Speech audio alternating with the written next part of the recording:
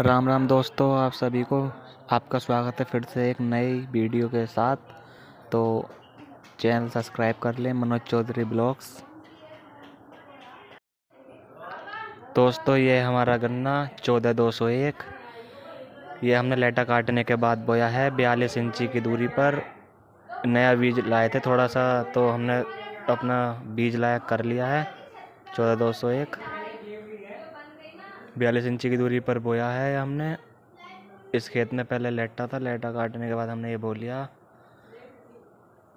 और अब देख सकते हैं आप, हमने बहुत दूर दूर एक फीट पर आँख लगाई थी इसकी। अब अच्छा मेड़ा मार रहा है और काफ़ी अच्छा ग्रोथ हो रहा है इस गन्ने का।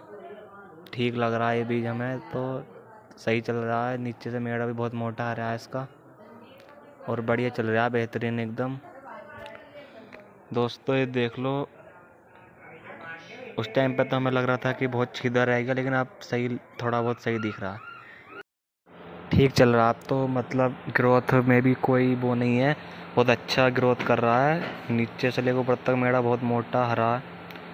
अगर किसी भाई को इसके बारे में कुछ जानकारी चाहिए कमेंट करके बताएँ हमें इस वीडियो में कि इस बीज के बारे में कोई भी जानकारी चाहिए, चौदह दो सौ एक के बारे में तो वो हमें कमेंट कर सकता है। धन्यवाद।